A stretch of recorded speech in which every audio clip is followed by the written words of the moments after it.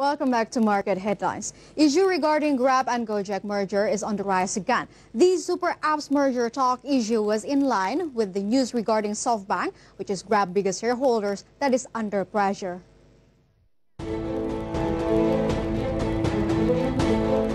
Southeast Asian super apps Grab and Gojek have restarted discussions on the possible merger at the bidding of shareholders, including SoftBank, as the Japanese company's CEO and founder Masayoshi Son backed the deal.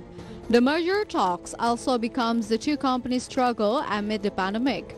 Their valuations have fallen substantially in the secondary market as COVID-19 drags on, according to the report. Citing from the Financial Times, despite Grab being valued at 14 billion US dollar at its most recent funding round in 2019, its shares have been trading at 25% discount. In the other hand, Gojek was valued at nearly 10 billion US dollar last year, but it has also been selling at steep discount, particularly from early shareholders wanting to exit. Analyst of PitchBook Asad Hussain said that the merger could significantly accelerate both Grab and Gojek path to profitability. From all sources, IDX channel.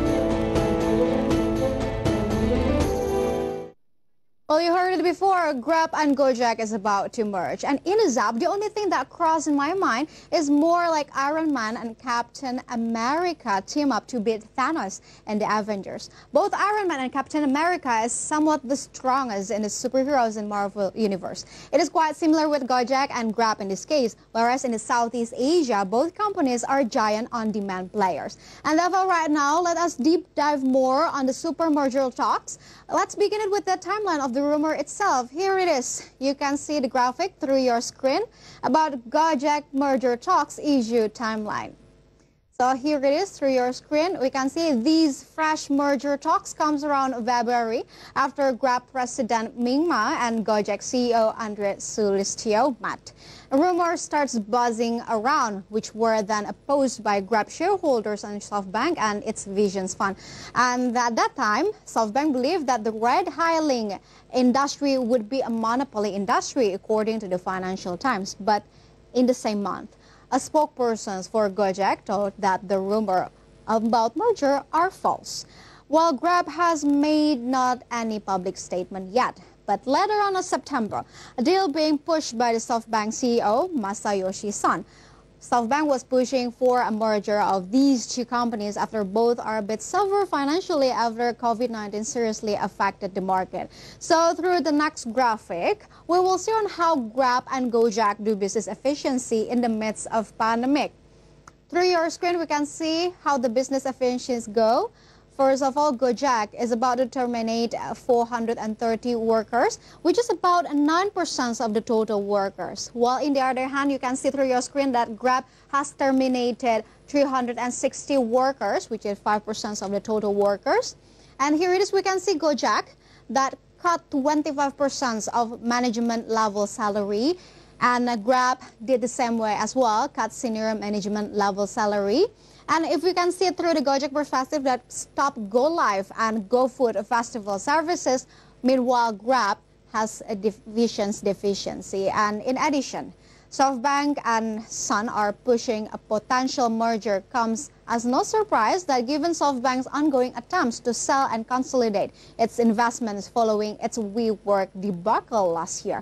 SoftBank announced in March that it intended to sell off 41 billion US dollar in assets to help pay down debts and the most notable divestment came from September with the confirmed sale of the ARM Holding Ltd to Nvidia Corp with a 40 billion US dollar deal. Well, in short, if finalized, the merger would create one of the world's most highly valued startups. So let's see the next graphic. Here it is.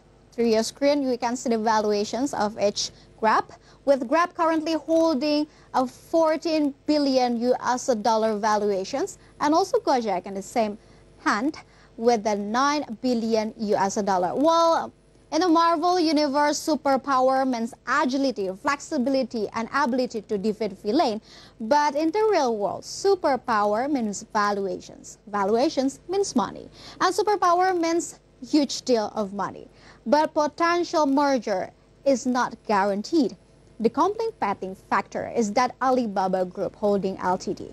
Alibaba is in talk to invest 3 billion US dollar to Grab, but however, the entrance of Alibaba and its associated business will increase regulatory scrutiny because Alibaba investment could also result in the tie-up between Grab and Lazada Group.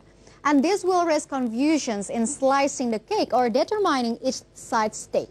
And not only that, there are other challenges within this merger if it is going to happen. So let's see through the next graphic. Here it is through the next graphic, we can see the challenges. First of all, as you can see, both companies compete in the same market and it is not healthy at all. And the second one is that there's a monopolistic tendency in here. Well, technically, if we talk from a platform and a technological point of view, the integration step will be better and more practical because there will be not many applications involved. But however, from a business standpoint, it is unfair for providers and consumers not to have any other options. And the third one is that you can see that create less workers with the mergers contributing to the possibility of job cuts, especially amidst the poor economic climate. And the last one is that the problem in determining size of each side stake, as I mentioned before, in Alibaba's case. And yes, viewers, merging of superpower may be channeling Grab path into profitability, but of course it needs deeper considerations as many problems may hamper as well. As Tony Stark said, if situations got harder, means it's just leveled up. So stay tuned to market headlines because we will be right back after this quick break.